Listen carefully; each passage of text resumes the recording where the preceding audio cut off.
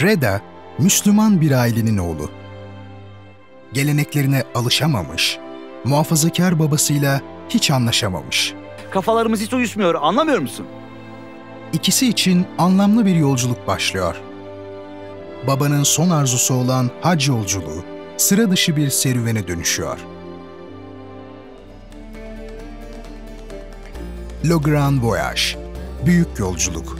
Bu akşam 21.15'te TV Bu Ramazan kanalında.